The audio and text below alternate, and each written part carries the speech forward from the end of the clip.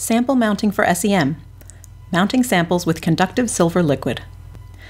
This video is brought to you by the Electron Microscope Unit at the University of New South Wales Mark Wainwright Analytical Centre, a node of the Microscopy Australia network.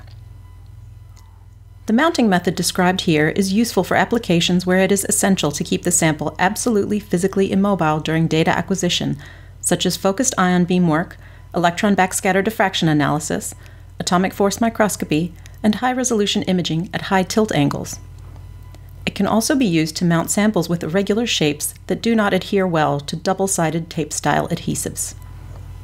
The silver liquid acts as a glue that maintains conductivity while fixing the sample to the SEM stub with no physical drift once fully dried. When mounting samples for SEM, our main goals are to secure the sample to the SEM stub so that it does not move during examination in the microscope, and to ensure that the negative charge generated by the electron beam has a pathway away from the sample surface to the conductive stub base.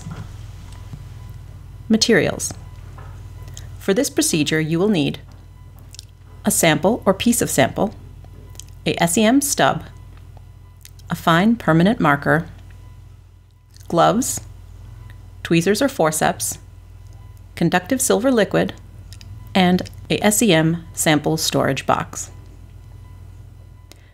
Additional materials you may find useful include a vortex mixer, a disposable toothpick or skewer, a stub lifter, and a pin stub holder. Preparation method.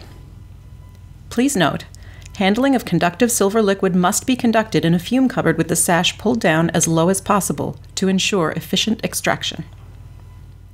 Step 1. Put on gloves. Always keep fingerprints off anything that will go into the SEM chamber, such as stubs and samples. Step 2. Choose a stub compatible with the instrument you will be using. In the UNSW EMU, 12.5mm and 26mm pin stubs are commonly used for FIB or EBSD work. Metal discs or trapezoidal mounts are often used for AFM applications. Step 3. Label your SEM stub with the sample name or ID code. Step 4. Gather all required materials in the fume cupboard. Step 5. Ensure you have the appropriate gloves on to work at the fume cupboard and lower the fume cupboard sash.